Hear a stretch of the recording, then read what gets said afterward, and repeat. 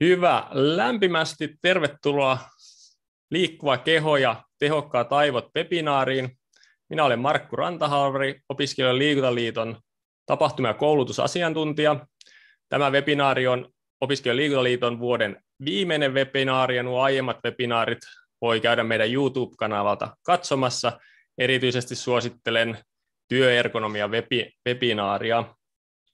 Myös tästä tulee tallenne joka tekstitetään suomeksi, ruotsiksi ja englanniksi, ja sen löytää sitten sieltä meidän YouTube-kanavalta myös.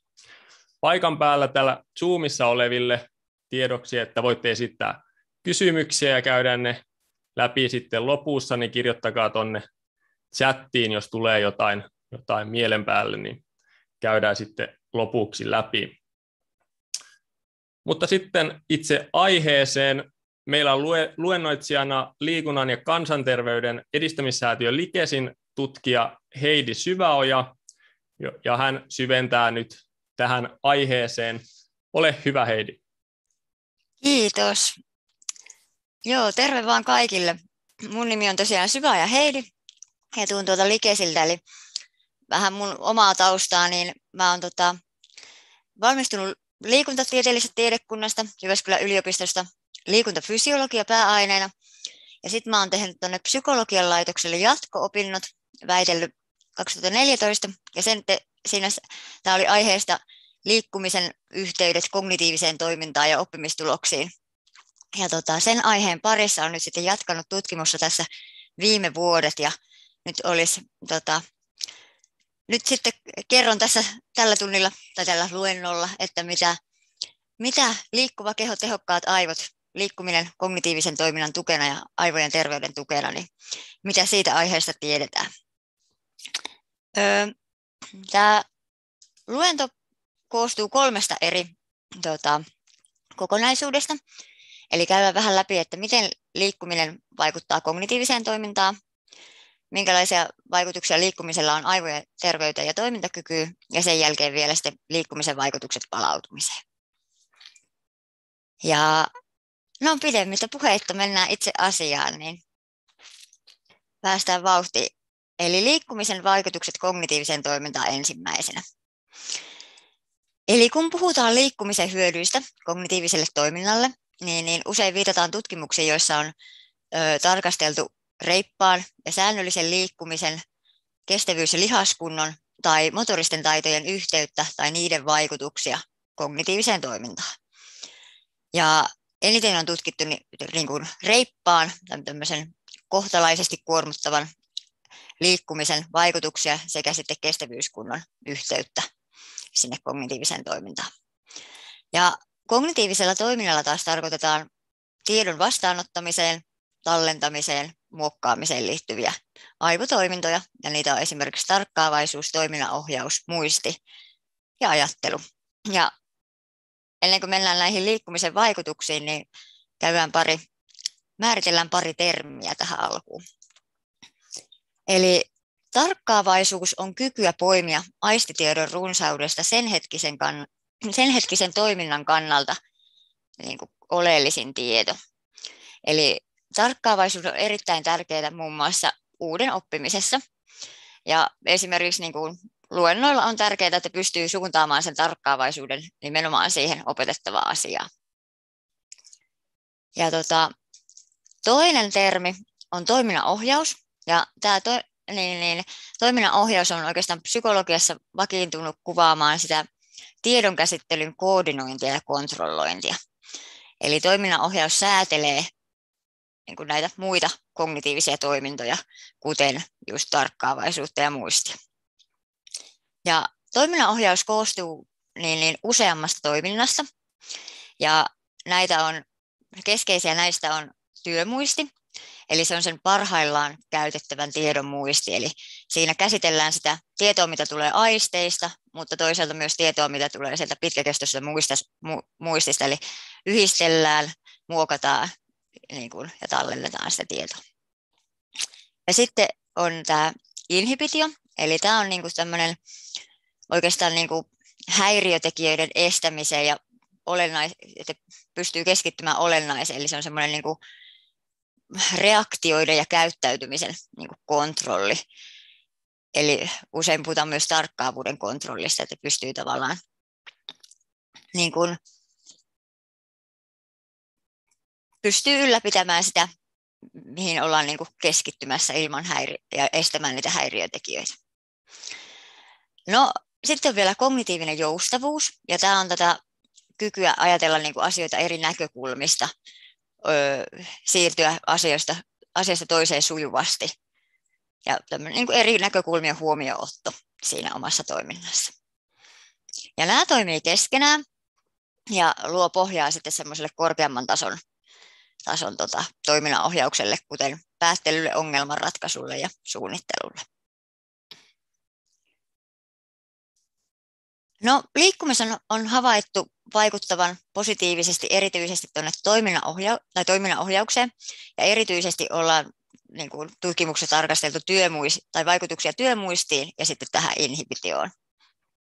Ja seuraavaksi käydäänkin vähän esimerkkejä näistä tutkimuksista läpi, eli miten niin kuin säännöllinen reipas liikkuminen, kestävyyskunto, akuutti liikunta, mitä merkitystä niillä on kognitiiviselle toiminnalle. Ja erityisesti tarkkaavuudelle ja toiminnanohjaukselle. Eli reippaan liikkumisen, reippaan säännöllisen liikkumisen tutkimuksia.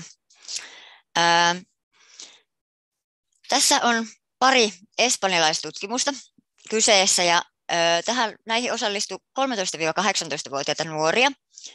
Ja niin kuin tässä tutkittiin, että miten tämmöinen säännöllinen vapaa-ajan liikkuminen on yhteydessä sitten kognitiiviseen toimintaan, erityisesti numeraaliseen ja verbaaliseen päättelykykyyn. Ja havaittiin, että mitä enemmän ne nuoret liikku vapaa-aikanaan, niin sitä paremmin he pärjäsivät näissä kognitiivisissa toimintaa mittaavissa testeissä. Ja huomion arvosta oli, että niin kuin erityisesti semmoinen reipas ja vähän tämmöinen kovempi tehoinen liikkuminen oli positiivisesti yhteydessä kognitiiviseen toimintaan.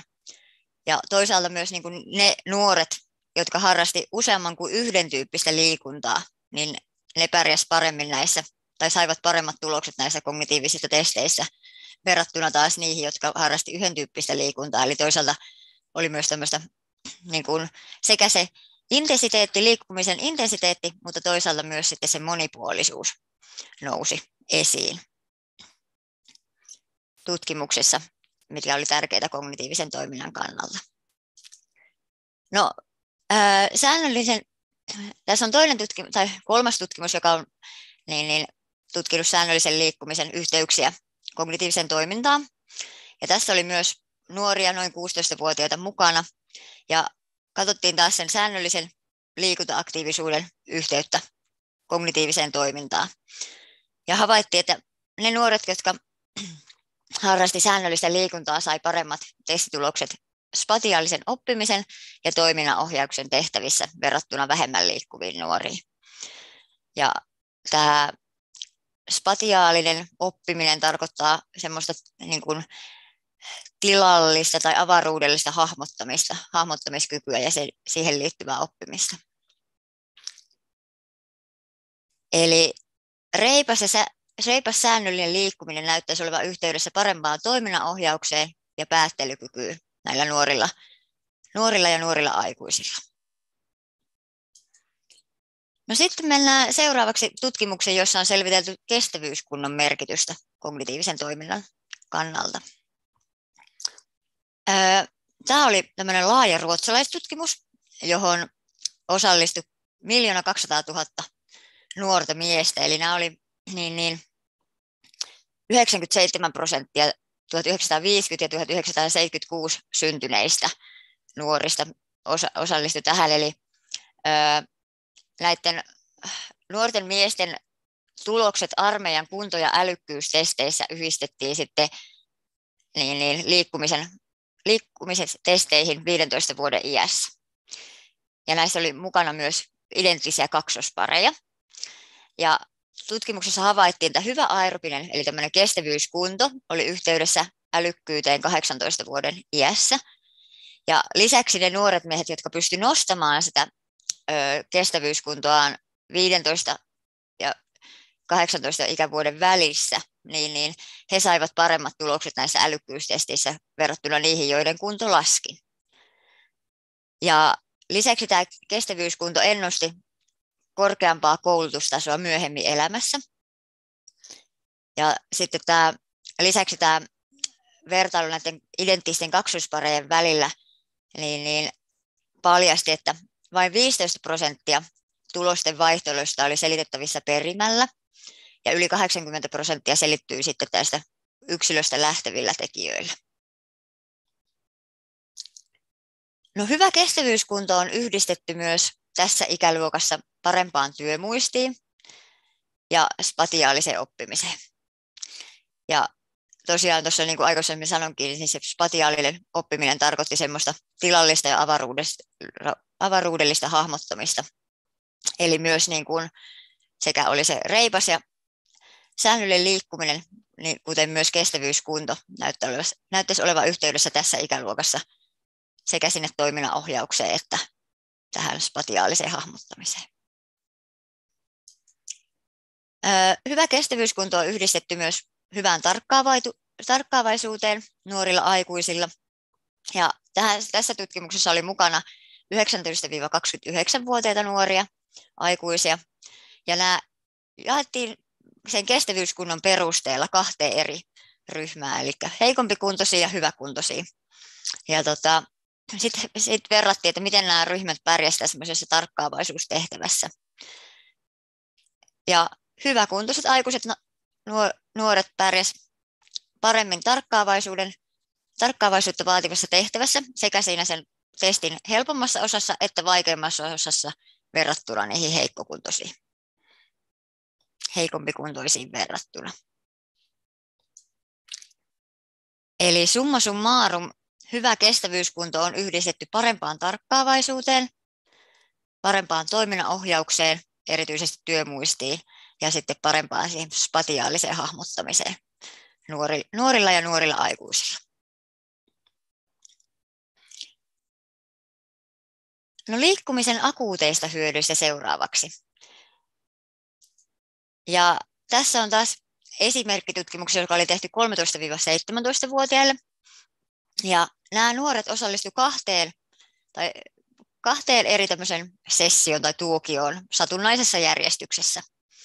Eli oli, niin, niin, toinen oli tämmöinen 10 minuutin animaation katselu paikallaan istuen, ja sitten toinen oli 10 minuutin polkupyöräily. Ja molempien näiden sessioiden jälkeen ne teki tämmöisen niin kuin toiminnanohjaustestin. Ja havaittiin, että nuoret suoriutuivat paremmin siitä toiminnanohjaustehtävässä liikunnan jälkeen verrattuna siihen istumiseen. Ja nämä liikkumisen hyödyt lähti erityisesti siinä toiminnanohjauksen haastavammassa vers, niin kuin, ha, vaikeammassa osassa, haastavammassa osassa. No, liikunnan akuutit vaikutukset on havaittu myös siellä nuorilla aikuisilla. Ja tässä tutkimuksessa oli tosiaan mukana 18-29-vuotiaita. Ja nämä jaettiin kahteen, satunnaisesti kahteen eri ryhmään nämä osallistujat. Ja oli tämmöinen liikuntaryhmä, jotka osallistu 20 minuutin juoksusuoritukseen ja sitten kontrolliryhmää, joka istui 20 minuuttia levossa. Ja Molemmat ryhmät suorittivat toiminnanohjaustehtävän ennen ja jälkeen sen istumisen tai, tai juoksun. Ja tota, tutkimuksessa selvisi, että liikuntaryhmän testitulos parani liikkumisen jälkeen, kun taas kontrolliryhmän testitulokset eivät eronneet toisistaan. Ja lisäksi se liikunta lisäsi aivoperäisen hermokasvutekijän PDNFn määrää, joka tukee näitä hermosolujen toimintaa.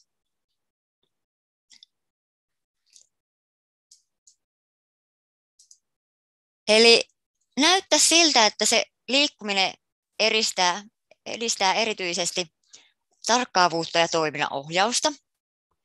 Ja miten tämä sitten näkyy käytännön toiminnassa? Eli nämä liikkumisen positiiviset vaikutukset näkyy erityisesti siinä toiminnan tai työskentelyn tehokkuudessa, että työskentely olisi sitten vaikka esimerkiksi esseen kirjoittamista, ja niin, niin se on tehokkaampaa, eli ajatus ei harhaudu, vaan pystyt paremmin keskittymään siihen olennaiseen ja siten säästät aikaa. Eli usein on niin kuin järkevää siinä työn lomassa pitää taukoja liikkua, niin, niin että usein se saman asian hoitaminen menee, siihen menee vähemmän aikaa kuin vaikka, vaikka ajattelisit, että nimenomaan se tauko, tauko vie siitä työltä, työltä pois aikaa. Eli parempi, parempi ottaa taukoja ja liikkua välissä kuin se, että istuisi nököttäisi koko pitkän pätkän paikoillaan. No, liikkumisen vaikutukset siihen kognitiiviseen toimintaan näkyy myös siinä toiminnan laadussa. Eli olet myös tarkempi ja teet virheitä vähemmän. Ja osa, niin kuin, on myös tutkimuksia, joissa on havaittu, että se niin kuin, liikkuminen edistää tämmöistä luovuutta ja toisaalta sitä kautta myös sitä niin kuin, työn laatua. No sitten ö, liikkumisella on positiivisia vaikutuksia myös sinne oppimistuloksiin. Eli niin kuin, tämä liikkumisen positiivinen vaikutus siinä kognitiivisessa toiminnassa näyttäisi välittyvän sitten sinne, sinne oppimistuloksiin asti. Eli on havaittu, että niin kuin paljon liikkuvilla on paremmat kouluarvosanat tai että tämä niin kuin liikkuminen edistää oppimis, oppimistuloksia.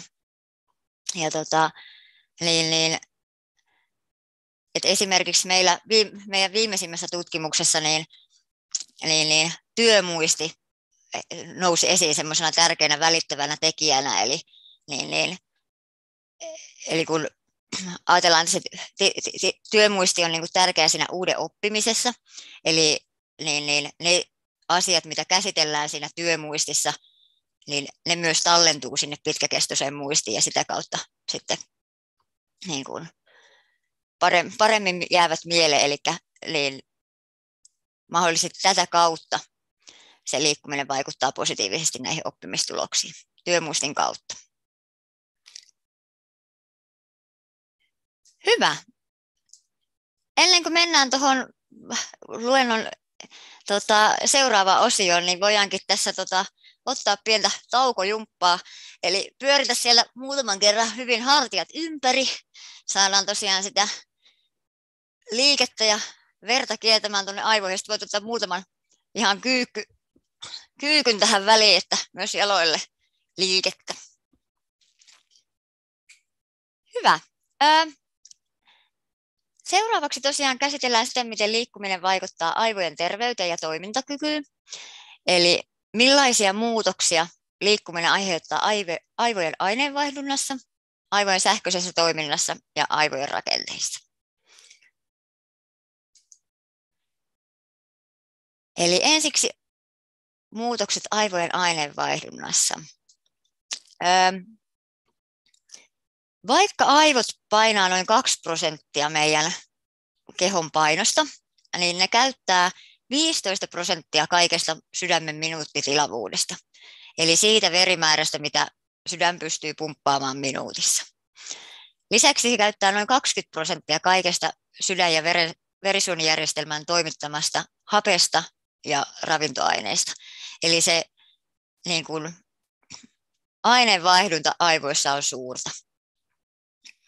Lisäksi siellä on hyvin, tai siellä ei oikeastaan ole näitä energiavarastoja ollenkaan. Ja koska aineenvaihdunta on suurta ja eri, eri, näitä energiavarastoja ei ole ollenkaan, niin, niin sitä aivoverenkiertoa täytyy jatkuvasti ylläpitää. Ja liikkumisen onkin havaittu vaikuttavan myönteisesti tähän aineenvaihduntaan ja aivoverenkierron reserviin. Eli se liikkuminen lisää aivojen verenkiertoa. Ja säännöllisen liikunnan on havaittu lisäävän myös niin kuin ihan aivojen verisuonten muodostumista. Ja liikkuminen parantaa siten aivojen hapen ja ravintoiden saantia. Ja lisäksi se nostaa niin kuin välittäjäaineiden tasoa. Eli välittäjäaineethan on näitä tämmöisiä kemiallisia molekyylejä. Eli kun aivoissa liikkuu hermosoluissa se viesti sähköisesti, mutta hermosolusta toiseen nämä viestit siirtyy näiden välittäjäaineiden niin kuin avulla. Ja tosiaan liikkuminen lisää näiden välittäjäaineiden tasoja ja silloin se viestin kulkukin siellä aivoissa helpottuu. No sitten liikkumisen on havaittu lisäävän myös neurotrofiinien tuotantoa. Ja näitä neuro, nämä neurotrofiinit on näitä hermosolun toimintaa tukevia kemikaaleja. Eli näistä esimerkkinä oli se PDNF, missä tuossa aikaisemmin puhuinkin. Eli niin, niin, näiden hermosoluja tukevien kemikaalien määrä siellä aivoissa myös lisääntyy. Eli liikkuminen saa aikaan siellä aivoissa optimaaliset olosuhteet sille aivojen toiminnalle.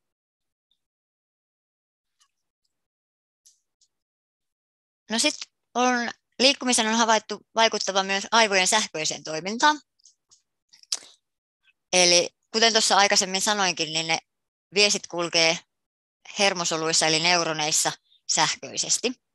Ja tätä sähköistä toimintaa pystytään mitata, mittaamaan aivokuvantamisella ja ollaankin havaittu, että liikkuminen lisää aivojen sähköistä niin kuin, toimintaa. Tässä on yksi esimerkki tutkimuksessa, jossa oli mukana 8- ja 10-vuotiaita lapsia. Ja he teki tämmöisen niin kuin, toiminnanohjaustehtävän, jonka perusteella he jaettiin kahteen ryhmään, eli ne, jotka pärjäsivät siinä tehtävässä hyvin, ja sitten ne, jotka pärjäsivät heikommin. Ja tota, sitten ne suoritti, tai niin kuin, tehtiin tämä sama toiminnanohjaustehtävä sekä levon jälkeen että liikku, niin kuin 20 minuutin kävelyn jälkeen. Ja havaittiin, että niin kuin ne, jotka pärjäsivät alun perin siinä testissä heikommin, niin heidän vastaustarkkaus parani sekä aivojen aktiivisuudet lisääntyi sen liikkumisen jälkeen verrattuna sitten siihen levotilanteeseen.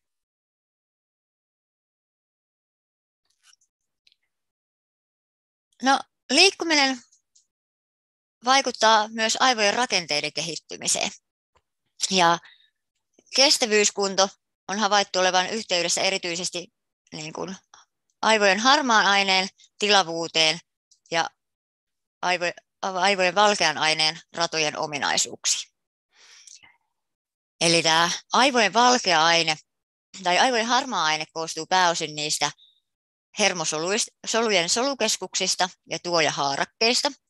Ja sitten taas tämä valkea, valkea aine, aineen ratoja pitkin välittyy eri viestit aivoalueiden välillä. Ja tämä mahdollistaa niiden aivojen sisäisen kommunikaation. Ja sekä harmaanainen tilavuus että tämä valkeanaineen ratojen ominaisuudet on erittäin tärkeitä niin kuin monille, tiedo, monille kognitiivisille toiminnoille, kuten just toiminnanohjaukselle. Ja tämä oli tosiaan ruotsalaisen Ilonan viime vuonna väitteli tästä aiheesta ja osa meidän Active Fit and Smart tutkimushanketta, jossa tätä asiaa tarkasteltiin tarkemmin. Mutta sama, samanlaisia tuloksia on saatu myös kansainvälisissä tutkimuksissa. E, on havaittu, että kestävyyskunto on yhteydessä suurempaan hippokampuksen tilavuuteen sekä etuaivokuoren osien tilavuuksiin. Eli mitä suurempi tuo kestävyyskunto on, niin sitä isompi on näiden aivoalueiden tilavuus ollut näissä tutkimuksissa. Eli tämä viittaisi siihen, että se säännöllinen liikkuminen, kestävyystyyppinen liikkuminen on lisännyt muisti- ja toiminnanohjauksen ohjauksen liittyvien aivoalueiden tilavuutta. Ja tämä taas puolestaan saattaa selittyä sillä, että liikkumisen on havaittu lisäävän uusien aivosolujen muodostumista.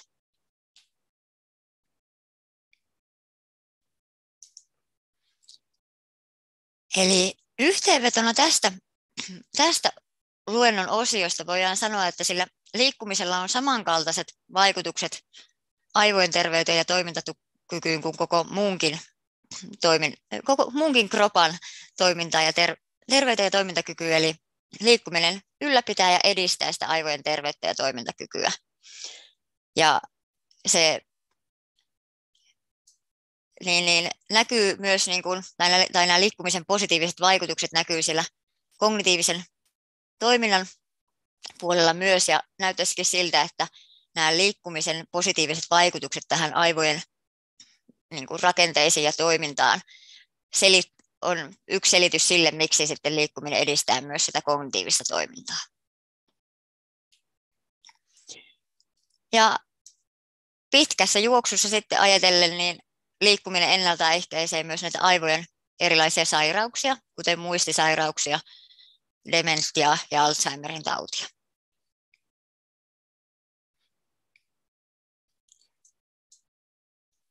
Hyvä. Taas voi vähän siellä niin, niin, vaihtaa asentoa ja pikkusen kroppaa herätellä, kun siirrytään meidän tässä luennossa viimeisimpää osioon. Eli puhutaan liikkumisen vaikutuksesta palautumiseen. Ja palautumisella tarkoitetaan sitä, että ihminen, ihmisen kuluneet fyysiset sekä psyykkiset voimavarat täydentyy kuormitusta edeltäneille tasolle. Eli jos puhutaan fysiologisesta palautumisesta, niin fysiologinen palautuminen on onnistunut silloin, kun ne elimistön, tai kun elimistö on ollut niin kauan lepotilassa, että ne kuluneet voimavarat on ehtineet korvautua uusilla. Ja sitten taas, jos puhutaan psyykkisestä pala- palautumisesta, niin, tai se on onnistunut silloin, kun ihminen kokee itsensä jälleen kykeneväksi ja valmiiksi jatkamaan, jatkamaan hommia. Ja no tämän palautumisen tulisi olla säännöllistä ja joka päivästä. Palautumisen kannalta riittävä uni on erittäin keskeinen asia. Eli se on sekä sen fyysisen että psyykkisen palautumisen aikaa. Ja kehomme osista erityisesti aivot tarvitsee unta ja riittävä uni ja sää, riittävä ja säännöllinen uni onkin niin kuin, sillä onkin ollut positiivisia vaikutuksia just tarkkaavaisuuteen, käyttäytymiseen, oppimiseen, muistiin ja ihan tunteiden säätelyynkin. Ja tota, riittämätön uni taas on yhdistetty tutkimuksissa kognitiivisen toiminnan häiriöihin ja erityisesti näissä häiriöihin näissä korkeamman tason kognitiivisissa toiminnoissa sekä toisaalta lisääntyneisiin käyttäytymisen häiriöihin ja ylivilkkauteen, impulsiivisuuteen ja huonon keskittymiskykyyn. Unen tarve on yksilöllinen ja mm, no keskimäärin se on semmoinen 7-8 tuntia yössä. Ja tota, oikeastaan paras mittari sille, että onko nukkunut riittävästi, on se, että tunteeko itsensä levänneeksi, kun, kun herää. Ja kaikki uni ei ole kuitenkaan samanarvosta, vaan niin kuin tosiaan siinä palautumiseen vaikuttaa ei pelkästään se unen kesto, vaan myös sen unen laatu. Ja lisäksi se unen kronotyyppi tyyppi vaikuttaa, eli tämmöinen kehon luonnollinen univalverytmi on yksilöllistä, eli on aamuunisia ja on iltaunisia, ja niin, niin voi olla myös vaikea mukauttaa sitä rytmiä.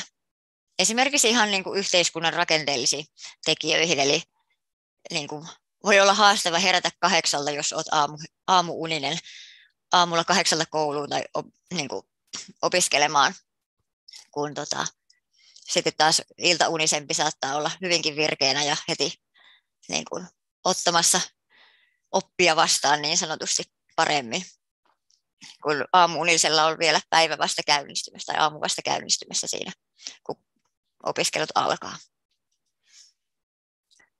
Mutta uni on siis tärkeä, mutta usein semmoinen aliarvostettu osa elämäämme, että niin kuin usein saatetaan, usein ei siihen uneen välttämättä sillä tavalla panosteta, ja se jää, saattaa jäädä vähän taka-alalle. No unesta vielä vähän tarkemmin, niin unessa siis tosiaan se tietoisuus vähenee ja lihasten liike ja lihastonus niin kuin vähenee. Ja unessa on kaksi päävaihetta. On tämä REM-unen vaihe ja sitten on tämä non-REM-unen vaihe. Ja tämmöinen yksi unisykli, mikä sisältää sekä sitä non-REM-unta että REM-unta, niin se kestää noin 90 minuuttia. Ja näitä niin kuin unisyklejä on yössä noin 4-5 kappaletta normaalin unen aikana. Ja tota, kuten tuosta kuvasta havaitaan, niin sitä non-REM-unta, niin se, se, sitä on enemmän siinä heti alku, alkuunesta, alkuun aikana, kun taas sitten se REM-uni painottuu sinne niin kuin unen loppupuolelta ja niin sanotusti aamuyöhön. Ja tälle non-REM-unelle on ominaista semmoiset hitaat sähkövaistelut siellä aivoissa, ja puhuttiinkin tämmöisistä hitaista aivoaalloista. Ja tota, mitä hitaampia ne aivoaallot on, niin sitä syvempää se uni on. Ja tota, nämä voidaan vielä, non-REM jakaa vielä tämmöiseen kolme eri alavaiheeseen. Eli on tämä, vaihe yksi on tämmöinen nukahtaminen ja pinnallinen uni. Sitten kaksi on kevyt uni, mitä on ehkä suuri osa yöstä tai sitä unesta. Ja sitten on nykyään kolme, vaiheet kolme ja neljä on yhdistetty. Ja ne on niin kuin tämmöistä hidas aalto unta, eli syvää unta, mikä on erittäin, tai oikeastaan se välttämätön niin kuin, osa sitä kehon, tai välttämätön vaihe sille kehon palautumiselle. Eli silloin, silloin se niin kuin, keho palautuu ja korjautuu, ja silloin niin kuin esimerkiksi erittyy runsaasti kasvuhormonia ja solut jakautuu, ja se palautuminen pääsee sitä kautta toteutumaan. No, REM-uni puolestaan niin kuin aivoissa muistuttaa melko lailla valvetta. Eli aivot on aktiivisia ja tyypillistä on myös silmän liikkeet ja sitten vähän niin kuin voimakkaampi lihastonus. Ja tämä REM-uni on tärkeää oppimiselle, muistille ja synaptiselle plastisuudelle. Eli kuten taas aikaisemmin puhuttiin, ne, ne viestit kulkee aivoissa sähköisesti, ja, mutta hermosoluista toiseen ne sitten niin kuin viesti siirtyy näiden kemiallisten välittäjäaineiden avulla. Niin tätä kemiallista välitilaa näiden hermosolujen välissä, niin kuin sitä kutsutaan synapsiksi. Ja synap, synapsinen, synaptinen plastisuus taas tarkoittaa sitä, että mitä enemmän näitä synapseja käytetään, sitä paremmin ne toimii ja sitä niin kuin vahvemmaksi, sitä enemmän ne vahvistuu. Ja sitten taas vähemmän käytettyjä synapseja sitten taas toisaalta karsiutuu pois. pois. Ja REM-unen aikana tapahtuu tällaista karsintaa muun muassa. Eli sen REM-unen aikana ne aivot käsittelee ja tallentuu, tallentaa niitä opittuja taitoja ja vahvistaa sitä muistia. Ne muistijäljet, mitä on aktiivisesti käytetty päivän aikana, niin ne aktivoituu myös siellä yöllä ja sitten tosiaan tallentuu sinne pitkäkestoiseen muistiin. Hmm.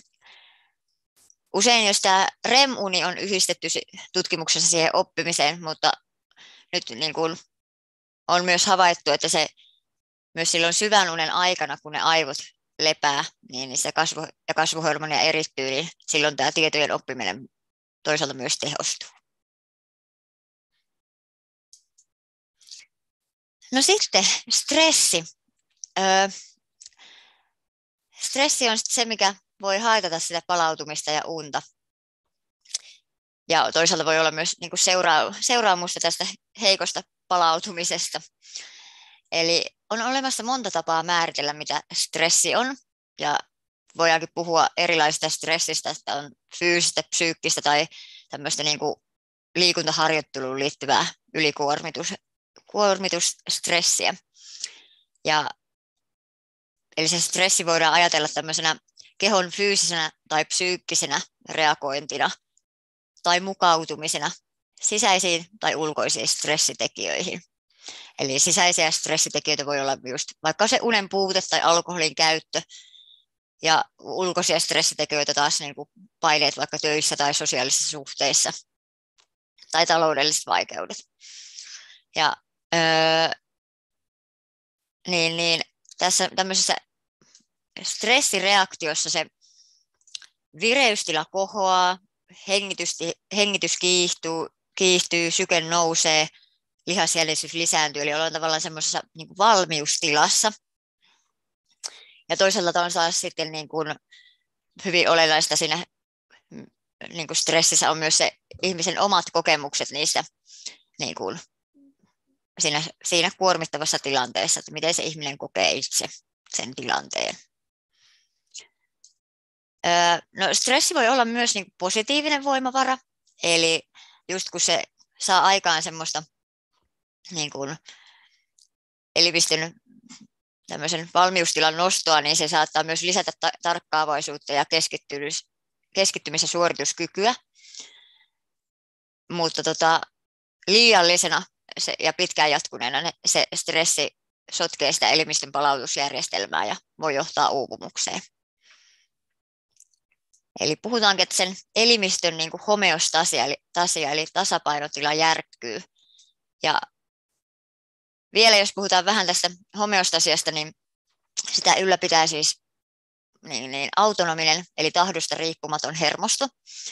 Ja siinä on sympaattinen osa ja parasympaattinen osa. Ja parasympaattisen osan niin kuin tehtävänä on tavallaan palauttaa ja ylläpitää sitä kehon, kehon lepotilaa, kun taas sitten se ö, sympaattinen hermosto niin kuin varautuu tai varustaa niin kuin siihen semmoiseen keho tulevaa rasitusta, kuormitusta varten.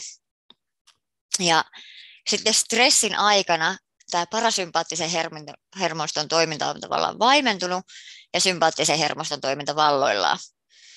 Ja muun muassa tämä niin kuin alentunut parasympaattisen hermoston toiminta sitten vaikuttaa myös siihen uneen, unen kestoon ja laatuun ja sitten sitä kautta saattaa myös niin kuin, heikentää sitä palautumista.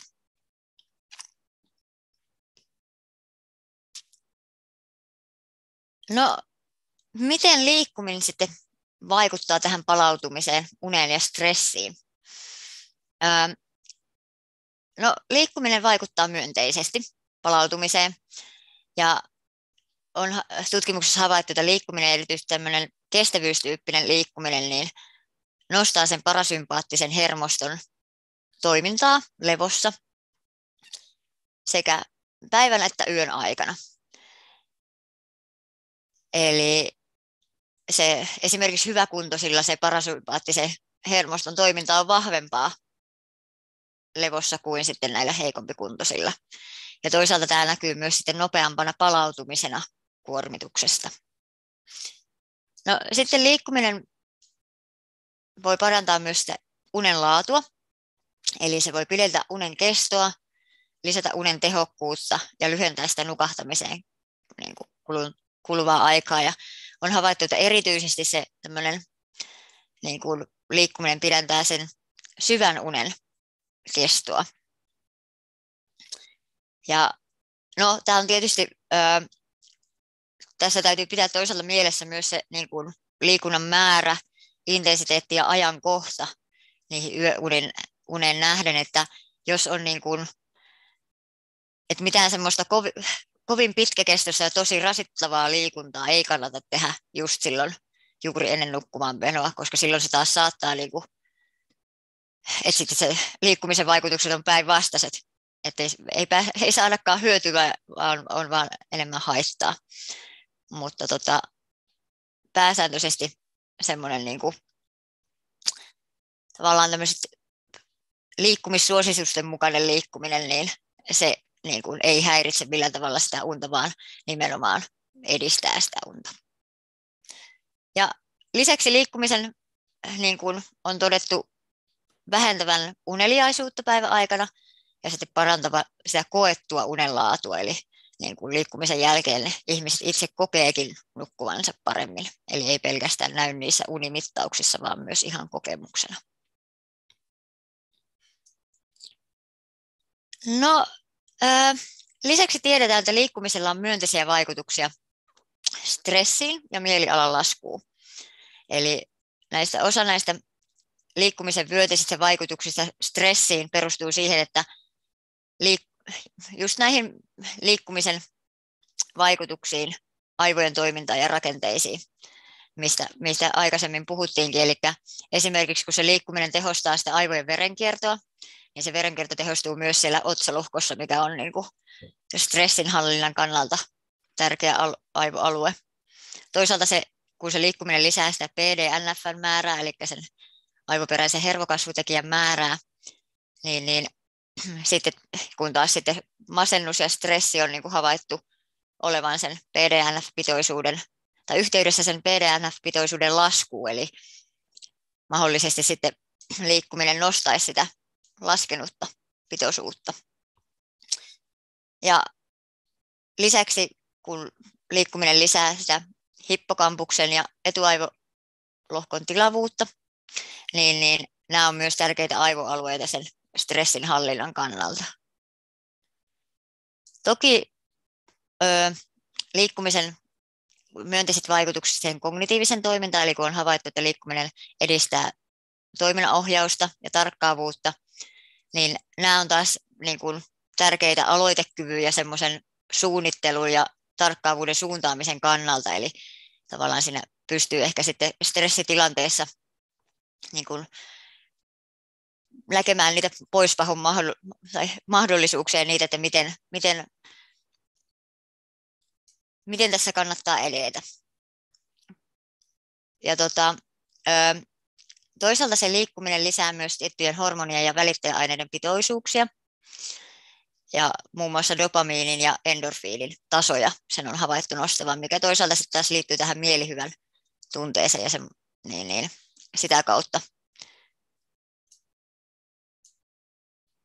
auttaa. Tota, liikkuminen vaikuttaa positiivisesti myös minäpystyvyyteen ja itsetuntoon, mikä on myös stressinhallinnassa erittäin tärkeää. Eli kun ihminen kuitenkin on, tulee tunne siitä, että pystyy hallitsemaan sitä elämäänsä ja pystyy vaikuttamaan niihin omaan toimintaan ja omaan elämään, niin se auttaa siinä stressinhallinnassa. Ja ei myöskään voi unohtaa sitä liikkumisen sosiaalista hyötyä, eli liikunta voi lisätä sitä yhteenkuuluvuuden tunnetta ja läheisyyden kokemusta, mikä auttaa myös stressinhallinnassa. Eli liikkumisen voidaan ajatella olevan tämmöinen stressinhallinnan, yksi stressinhallinnan keino. Ja, eli se ehkäisee ja helpottaa stressiä, mutta myös sitten vahvistaa sitä stressin sietokykyä. Hyvä. Yhteenvetona tästä viimeisestä osiosta niin voidaan sanoa, että se liikkuminen tukee palautumista. Se tukee unta parantamalla sen unen määrää ja laatua ja ehkäisee myös ja helpottaa stressiä. Ja niin, niin, hyvä muistisääntö onkin, että kannattaa varata sekä sille liikkumiselle päiväaikana aikaa, mutta toisaalta myös sille levolle. Eli niin, niin, täytyy arvostaa myös sitä unta ja palautumista. Hyvä. Kiitoksia. Tässä taisi olla nyt mun se ver- mitä mulla on sanottava, että nyt on aika kysymyksille. Kiitos Heidi ja meillä onkin tullut kysymys liittyen, että onko olemassa vastaavaa tutkimusta liikuntarajoitteisten näkökulmasta, eli apuvälineitä käyttävistä liikkujista, vai onko samankaltaiset vaikutukset myös näillä kohderyhmillä? Hyvä, hyvä ja tärkeä kysymys. Ö, jonkin verran on niin, niin, tutkimusta esim, niin kuin erityisryhmille tehty, mutta vähemmän kyllä, tai niin kuin tämä, ei ole vielä, tämä liikkumisen vaikutukset niin kuin tähän esimerkiksi oppimiseen ja kognitiiviseen toimintaan, niin se on niin kuin, tota, ö, kuitenkin suhkot nuori tutkimusala, et, että niin, niin, on tutkimus menossa siihen suuntaan, mutta ei ole vielä niin kuin, päässyt, mutta se, se olisi varmasti just semmoinen, mitä niin kuin, mitä tarvittaisiin. Sitten tota, noin, multa semmoinen kysymys tuossa alkuvaiheessa, kun sä puhuit, puhuit siitä, että monipuolinen liikunta, liikunta on erityisesti vaikuttaa positiivisesti, ettei pelkästään yksipuolista, niin osaatko sanoa tai onko tehty tutkimusta, että esimerkiksi minkälainen yhdistelmä on paras ja onko joku juttu, mitä ei missään tapauksessa liikunnassa kannattaisi jättää väliin, jotta, tai tyylinen liikunta, jotta aivot toimii parhaiten, jos ajatellaan, että henkilö vaikka harrastaa kestävyysliikuntaa tietyn määrän, sitten käy vaikka voimakautta jooga-tyylistä, plus sitten ehkä tämmöistä taito, niin sanottuja taitolajeja, pelaa vaikka pingistä tai, tai jousiammuntaa tai vastaavaa, niin onko, onko että mikä, missä suhteessa esimerkiksi näitä, näitä ja onko joku, mikä ei missään tapauksessa, että älä ihme, ja, tota, tätä pitää joka tapauksessa harrastaa? Kiitos, hyvä, hyvä kysymys. Tota, ö, ei ole semmoista yksiselitteistä vastausta, että mikä nyt olisi optimaalisin ja mikä, mitä, tota, minkälainen olisi sopiva niin kuin, suhde. Että eniten ehkä ollaan niin kuin, ylipäätään tutkittu tämmöisen kestävyystyyppisen liikkumisen vaikutuksia, ja, ja sen takia sillä, sillä puolelta ne näytöt on niin kuin, vahvimmat. Mutta toisaalta niin kuin viime aikoina on myös ruvettu tutkimaan yhtä lailla lihas- ja niin kuin, lihaskunnon ja just, just näiden motoristen taitojen yhteyttä tarkemmin. Eli niin kuin, ja sama, niin kuin, ne näyttää, siis yhteydet on samansuuntaiset. Ja tota, et jonkin verran on semmoisia tutkimuksia, että jo, niin kuin, just tässä monipuolisesta, että tavallaan niin kuin, ne semmoiset, että mitkä haastaa monipuolisesti sitä, niitä motorisia taitoja, niin on, on tota, hyviä myös sen suhteen, että tavallaan motoriset ja kognitiiviset toiminnot näyttäisi kehittyvän käsi kädessä, eli kun samat aivoalueet vastaa niiden niin kuin ohjauksesta, niin sitten, että tavallaan sen motorisen, niin kuin, kun saa sitä motorista haastetta, niin myös silloin se kognitiopuoli niin kuin aktivoituu. Ja, ja toisaalta taas on sitten tutkimuksessa havaittu, että jos siinä niin kuin se liikkuminen sisältää jotenkin semmoista niin kuin, öö, jota, tai niin kuin, että et siinä liikkumisessa on myös semmoista omaa kognitiivista haastetta itsessään mukana, niin, niin sekin, sekin sitten on niin kuin huomattu, sillä voi olla positiivisia vaikutuksia niin just toiminnan ohjaukseen, että, että niin kuin säännöllisesti ja monipuolisesti on ehkä se niin kuin avain, mutta tätä tarkemmin en, en osaa sanoa. Kiitos. Sitten on vielä kysymys, että kuinka tanssi sijoittuu lajina liikuntaa? Että tulisiko tanssilla olla lisää siellä liikunnan parissa? No siis tanssihan on erittäin hyvä niin kuin, muoto, liikkumisen muoto, ja, sit, ja siinä yhdistyy toisaalta myös se, mitä tuossa puhuinkin, että se semmoinen tietty kognitiivinen haastavuus, että miten, ja miten sä pystyt eri kehoja keho, kehon osia liikuttamaan eri aikaa, että siinä on se motoriikkapuoli ja sitten toisaalta myös se musiikki. Ja musiikilla tiedetään myös itsessään olevan niin kuin, samantyyppisiä vaikutuksia sinne, tai positiivisia vaikutuksia sinne kognitioon, eli siinä kyllä ihan näin, näin itsekin tanssijana voin kyllä ihan lämpimästi suositella.